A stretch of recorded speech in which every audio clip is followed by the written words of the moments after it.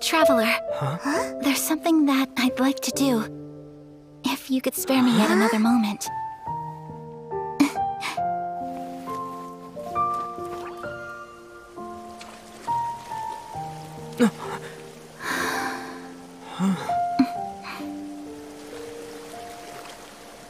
Please, keep your eyes on me.